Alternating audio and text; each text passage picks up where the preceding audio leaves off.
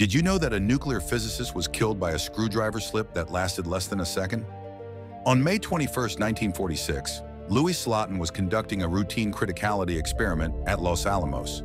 He worked with the Demon Core, a plutonium sphere that had already killed one scientist months before. The experiment was simple but deadly. Two beryllium hemispheres surrounded the core, kept apart by just a screwdriver. Slotin had done this hundreds of times, bringing the fissile material to the edge of going critical. Then his hand slipped. The hemispheres snapped together. A brilliant blue flash filled the room as Cherenkov radiation erupted. In milliseconds, Slotin absorbed 2100 rems of radiation, enough to kill 10 men. He calmly pulled the hemispheres apart and began calculating everyone's exposure levels. Over nine days, his body destroyed itself from the inside out. His skin peeled away, his organs shut down one by one.